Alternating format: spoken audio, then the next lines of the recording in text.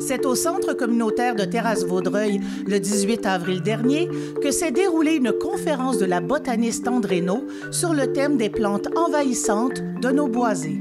Pourquoi que c'est important de faire des conférences pour expliquer euh, l'importance de bien connaître les plantes des boisés, puis surtout les problématiques avec les plantes envahissantes?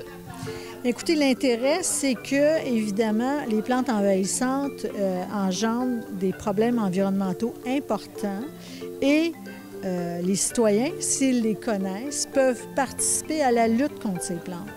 Ça peut causer un problème. On ne peut pas juste laisser la nature suivre son cours.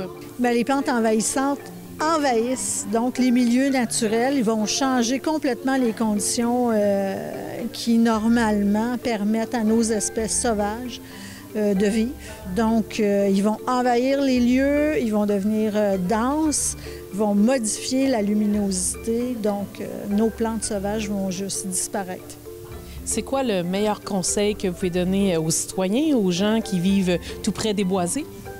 Bien, écoutez, informez-vous. Puis c'est intéressant de, faire des initiatives avec les gens qui connaissent les lieux pour euh, justement apprendre à, savoir ce qui est envahissant et non. Et faites, comme ça des initiatives pour améliorer la situation. Vous avez parlé euh, plus particulièrement de la lierre qui est devant nous, qui a été cueillie euh, il y a quelques jours. ça, c'est une plante qu'on retrouve énormément dans la région. Oui, dans le sud du Québec, en ce moment, il y a vraiment un problème important avec la lierre parce que c'est une espèce qui, euh, qui est très prolifique, qui a un cycle de vie très court, seulement bisannuel. Donc, en deux ans, elle, euh, elle germe et elle s'installe, elle produit beaucoup de graines et envahit très rapidement. Alors, euh, il y a une problématique de plus en plus importante avec la lierre.